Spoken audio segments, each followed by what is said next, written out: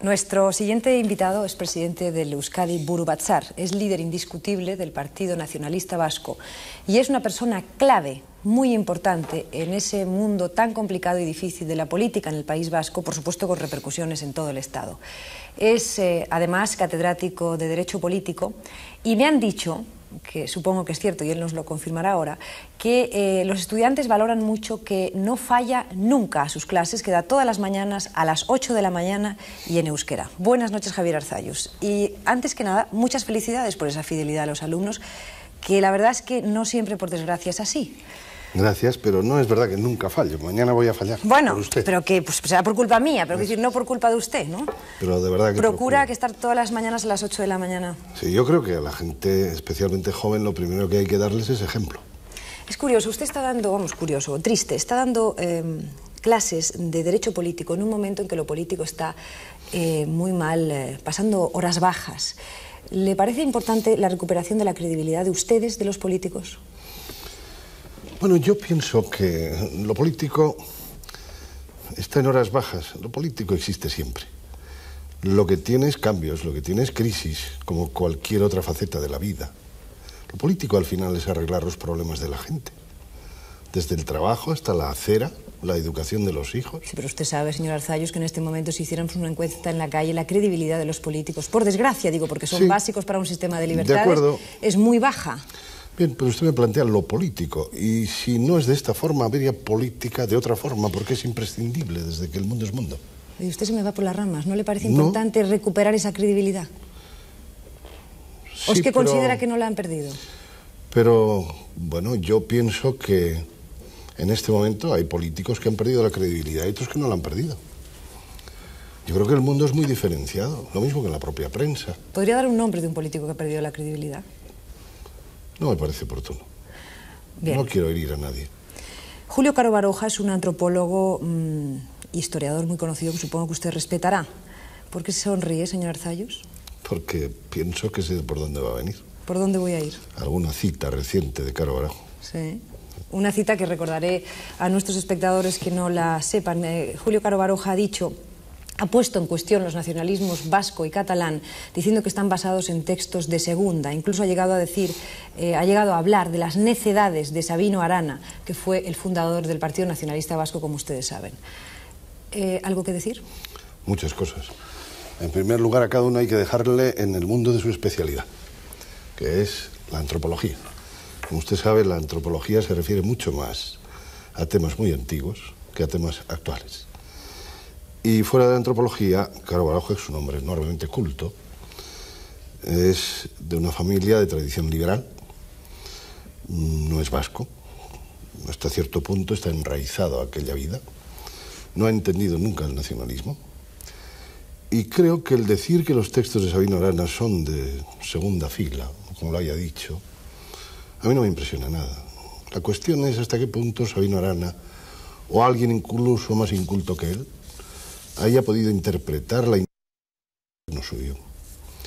Entonces, con textos de primera o de segunda fila, y no siempre los grandes textos políticos han sido los motores de la historia, sino más bien las grandes necesidades de la sociedad, que después los grandes textos han interpretado, si Sabino Arana supo interpretar una inquietud, que yo creo que la supo, en un momento después de la última guerra carlista, de una crisis tremenda en, Vasca, yo sí creo que Sabino Arana, mal que bien, con mejores o peores textos, constituyó un poco la columna vertebral de la redefinición y de la recuperación de un pueblo que estaba ocupado, estaba destrozado, suprimidas sus instituciones, estaba roto.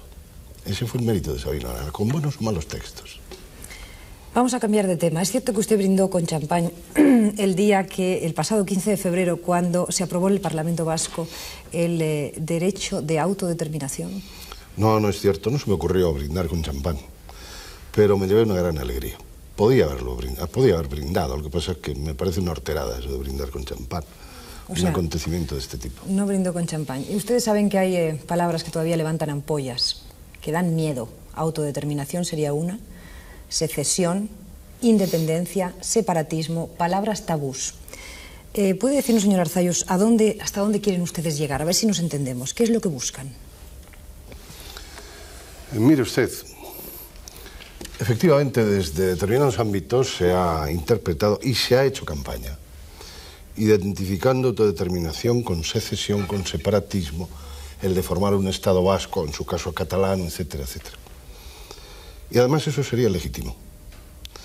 Nosotros cuando decimos autodeterminación, lo mismo las personas que los colectivos, decimos que lo mismo cada persona es dueña de sí misma y de tomar decisiones para su bien o para, para mal suyo, un pueblo, cualquiera, que es un colectivo definido, con una determinada identidad y un modo de ser que tiene derecho a tener, es también dueño de su destino. Dueño, por lo tanto, por estar con otros pueblos, viviendo, conviviendo en una estructura política común, es un Estado plurinacional, o de formar incluso su cotarro propio. ¿Y por qué no? ¿Por qué eso es tabú? ¿Por qué vamos a ignorar que hay nacionalistas vascos, nacionalistas catalanes, etcétera?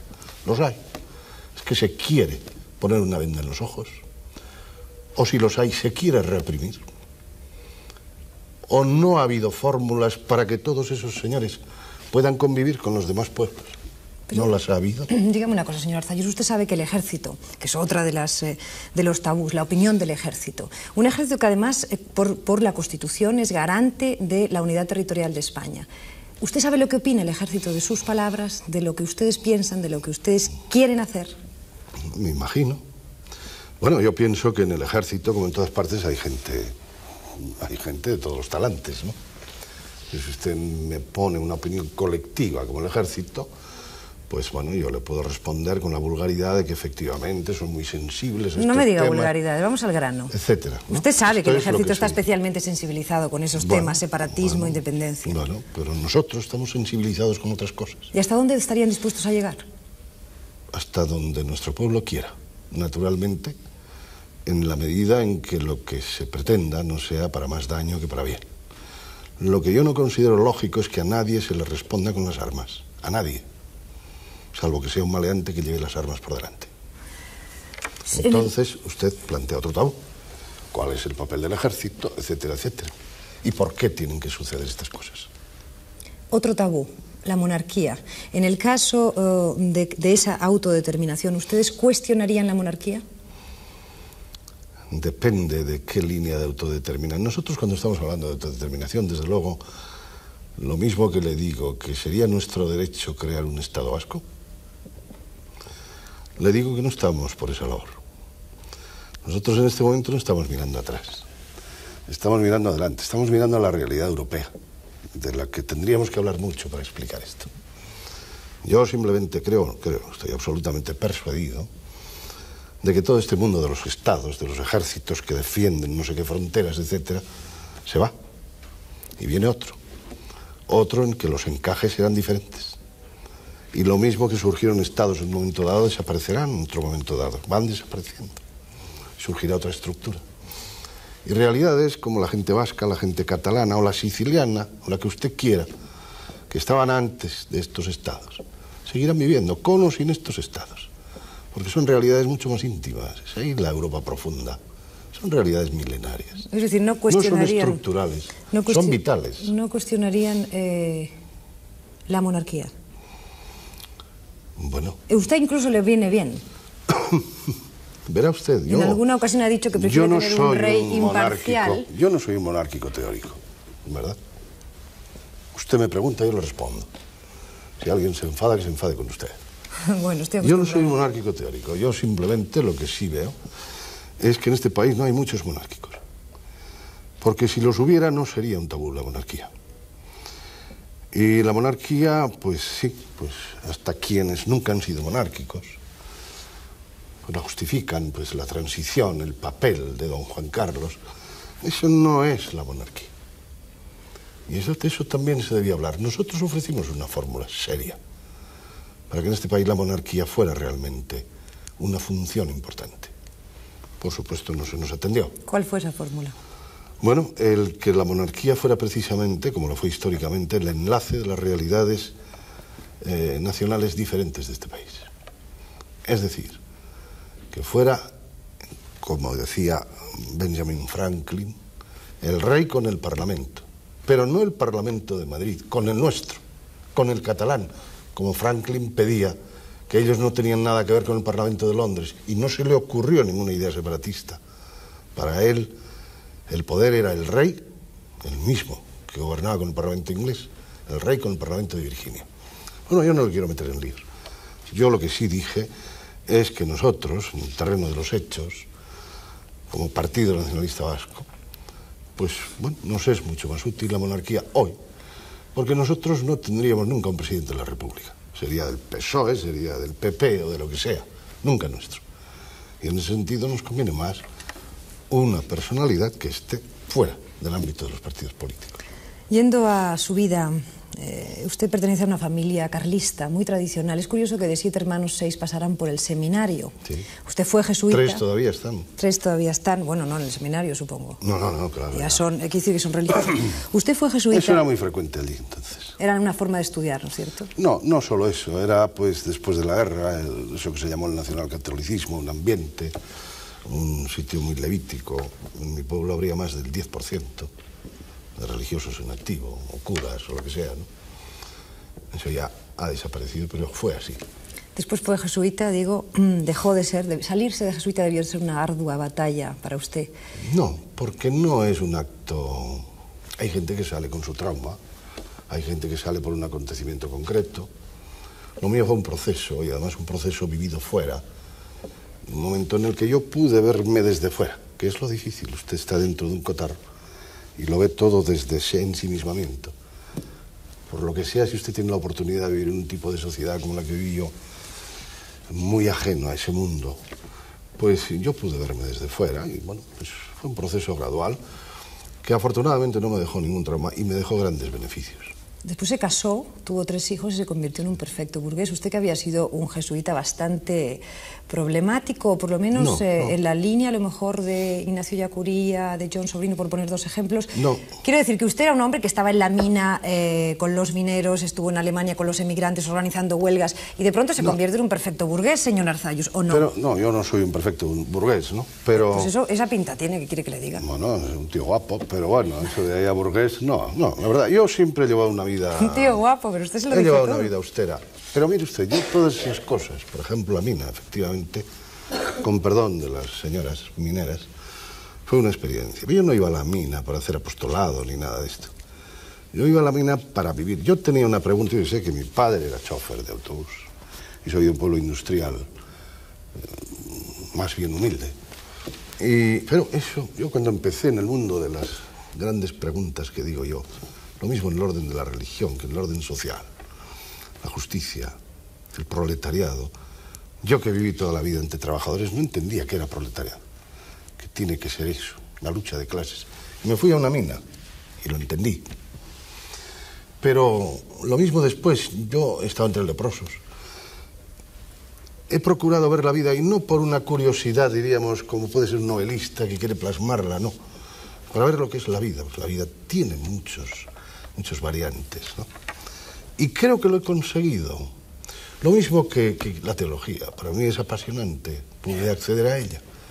Ese también es el mundo de las grandes preguntas, que están ahí, aunque en la vida diaria no las usemos. Si realmente nos ha hecho alguien, si hay algo después, si hay una posibilidad de relación con algo. Me está usted recordando a un cura, señor Arzayus. Ah, pues que lo bueno, eso es lo que Se le nota decir. que le sale lo de- No, no, pero es que eso no es de un cura, eso es de usted. Es que parece un sermón. No, yo le estoy hablando. Las de- grandes preguntas. Yo le Le, estoy le estoy hablando- viendo, le estoy viendo en un, en un, eh, en un púlpito. ¿Qué quiere que le diga? No, no, estoy hablando en una conversación en la que usted me está preguntando por una serie de vicisitudes de mi vida. Y yo lo que le estoy diciendo es que si algo tengo en mi vida que ha sido dura, ha sido la suerte de poder vivirla desde prismas muy diferentes. Vamos, si le parece, a otros temas eh, relacionados, mm, por desgracia, con eh, el terrorismo. Usted sabe que al PNV se le ha acusado, mm, casi podríamos decir históricamente, de una cierta ambigüedad con respecto a ETA. Eh, ¿Han hecho ya ese mea culpa? Me mira con no hemos tenido que que hacer ningún mea culpa. Nosotros tuvimos muy claro. Mire usted, yo entré en PNU estando en Alemania y estando, por cierto, muy libre y viviendo la vida. Entré, pedí la afiliación el año 68, en un agosto, cuando vi en la televisión alemana que ETA había matado al inspector Manzanas. Y bueno, hice mi reflexión y creí que estaba yo muy alejado de participar en la política en aquel momento. Y creí que tenía una responsabilidad. Me afilié en el PNV precisamente porque vi por dónde iban las cosas.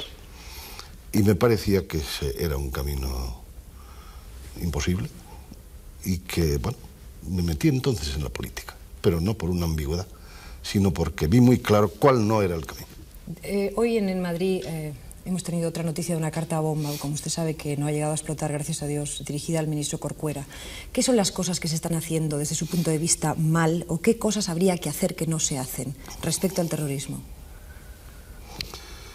Pues eh, mire usted, primero ese es un mundo enormemente cerrado, que vive con su razón, que vive generalmente desde un trauma, desde la percepción subjetiva de un derecho, de una opresión.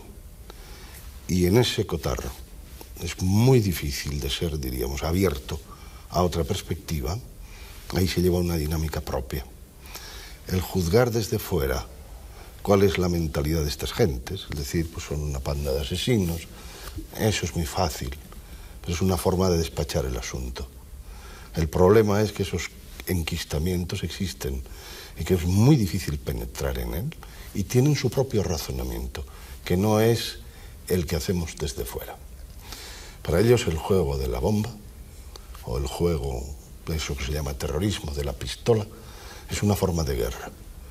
Entonces aquí tal vez lo que hacemos mucho es entrar en los factores de condenación y nunca el entrar no ya en una comprensión, sino de un análisis de qué mecanismos funcionan por ahí, que es lo primero que hay que hacer si usted quiere o persuadirlos o combatirlos. Usted me está diciendo entonces que no se está eh, actuando como se debería actuar, que habría que intentar comprenderlos más.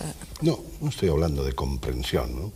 Hay gente que piensa que ustedes y ellos en el fondo persiguen el mismo fin. ¿Le ofende eso? Aunque por distintos caminos, claro está. No me ofende. Eso me ofendería de la misma manera que pudiera ofender, por ejemplo, a un socialista democrático que quiere perseguir una sociedad sin clases y que le llamen stalinista. Sería perfectamente injusto.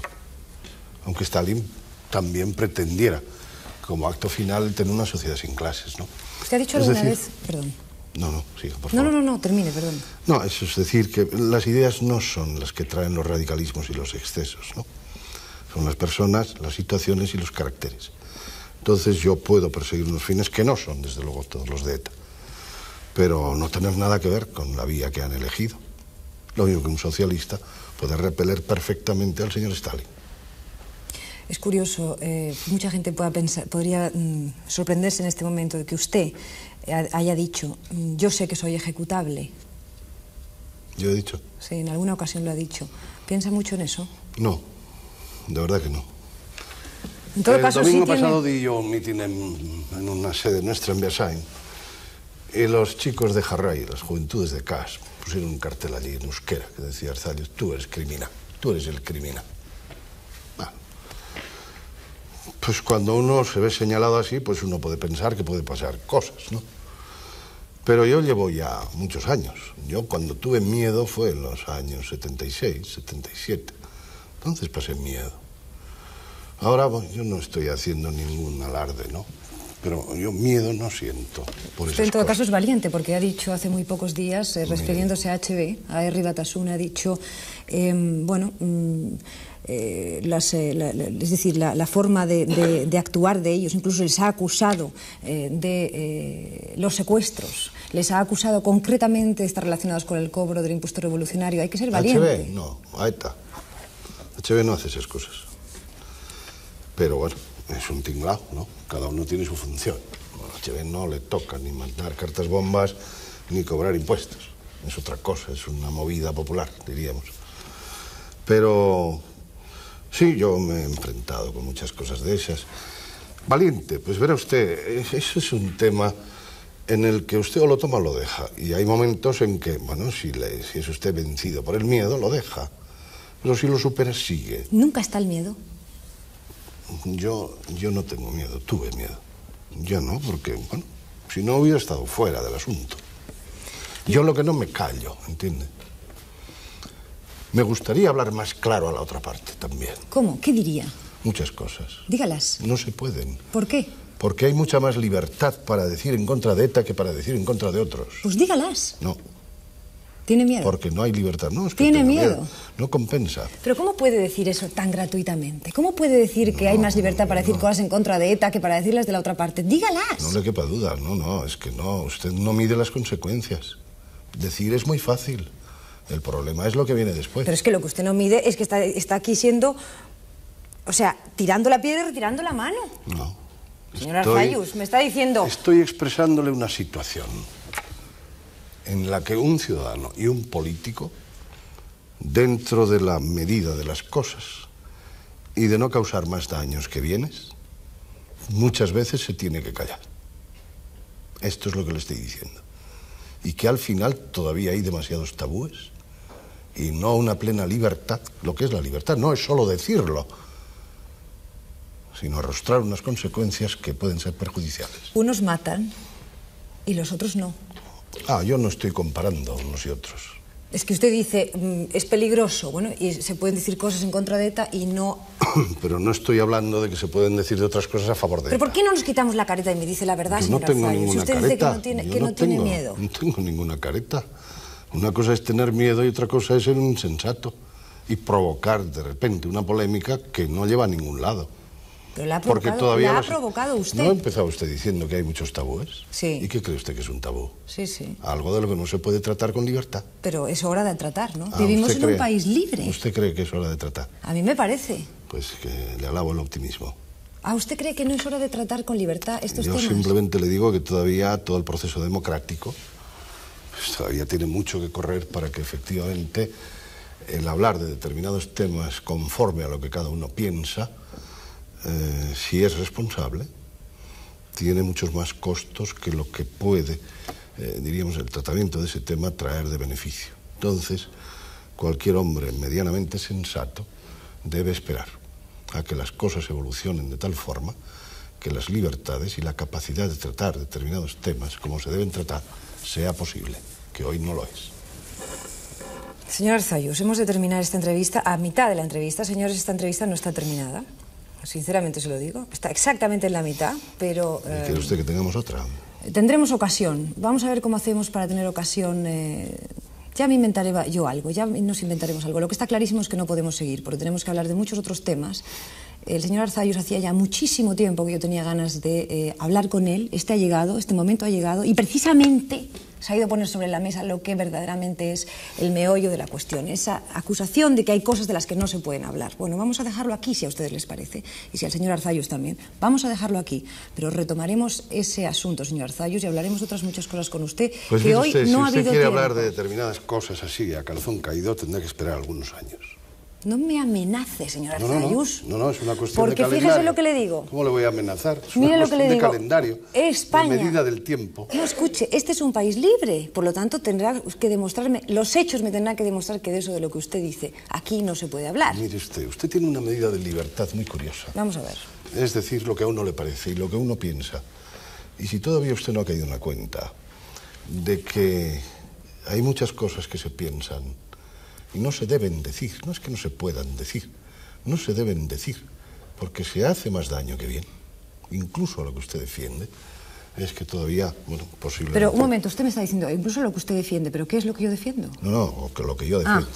Me refiero a la persona que desearía expresar sus ideas en, un- en unos temas, sobre todo si es un hombre público, eh, que, que, bueno, que si las expresa levanta tal problemática, tal oleada de cosas que no lo debe hacer. Usted ha sacado el tema sobre la mesa, señor Arzayus, y es usted responsable No, en todo no. caso de que esto haya Usted ha ocurrido. sacado el tema de los tabúes. No, bien, pero, pero los he ¿Hay o dicho. no hay tabúes? Pero yo le he dicho, hay palabras, eh, hay palabras que todavía dan miedo, autodeterminación, secesión, pero vamos a hablar de ellos. Usted lo ha y dicho. usted al final de la entrevista, ah, bueno, mitad de la entrevista, cuando yo iba por la mitad, ha dicho, em, se habla con mucha más libertad de ETA, Sí, contra ETA. contra ETA, que contra los otros. Yo digo, vamos. No, contra otras cosas. Contra otras No cosas. Pues ha sido usted el que ha sacado el tema, no yo. Claro, pues claro, de eso pero vamos a usted me seguir reconoce hablando. que hay tabúes y el tabú por definición es algo que no se puede tocar. Pero que en el momento que a lo mejor se toca, Entonces no hay tabúes. desaparece. Entonces no hay tabúes. Entonces no, creem- no creamos eh, No, tabúes mire usted, falsos que yo- a lo mejor le van muy bien a no, mucha no gente. son falsos, no. Simplemente que hará falta tiempo para ir tratándolos. Vamos a esperar entonces al tiempo, vamos a hacer un alto en nuestro camino. Esta entrevista termina aquí, pero no termina en el tiempo. Antes o después nos volveremos a encontrar seguro. Y este tema nos...